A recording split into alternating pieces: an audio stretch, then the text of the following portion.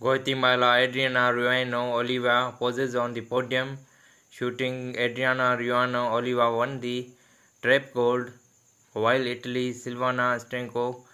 at shooting center on Wednesday, Olivia hit a game's record of 45 of her 15 targets to win Guatemala first in sport ahead of Santiago who hit 14 and